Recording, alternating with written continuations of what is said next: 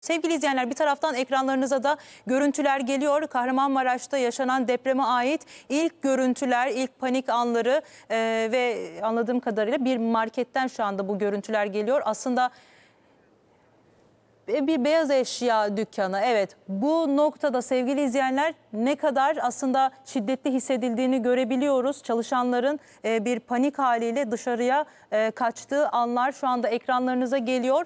Depremin yaşandığı ana dair ilk görüntüler sevgili izleyenler bir beyaz eşya mağazasında kayda geçti.